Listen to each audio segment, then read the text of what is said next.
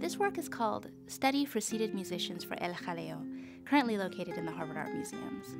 It's the embryonic stage of a final work for the painting El Jaleo by the American artist John Singer Sargent. El Jaleo was the first work of art I fell in love with when I moved to Cambridge. My best friend from Oklahoma came to visit me during my first semester at Harvard, and we stood in front of the final painting, located at the Isabella Stewart Gardner Museum in Boston, just immersed in its passion and dramatic interplay of light and shadow. We were speechless. So when the Harvard Art Museums gave me the chance, as a student, to examine John Singer Sargent's study for seated musicians for El Jaleo, I was overwhelmed. I felt as though I could actually visualize the bold and vivid brushwork of the painting itself. This close looking at the critical developmental stages of an art object is indispensable to me as an art historian. It lets me understand more clearly the artist's revisions, omissions, questions, and intentionality.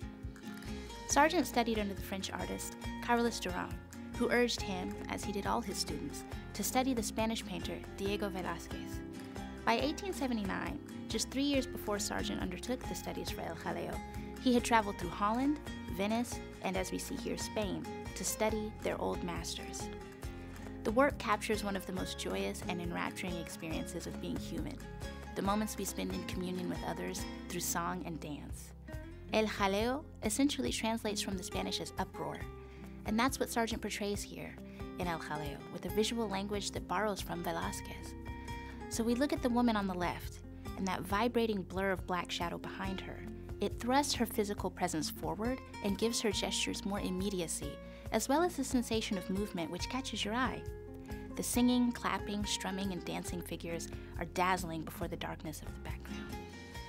Yet, so much of the artwork's power that means a lot to me also comes from the humane sensitivity with which Sargent represented his subjects.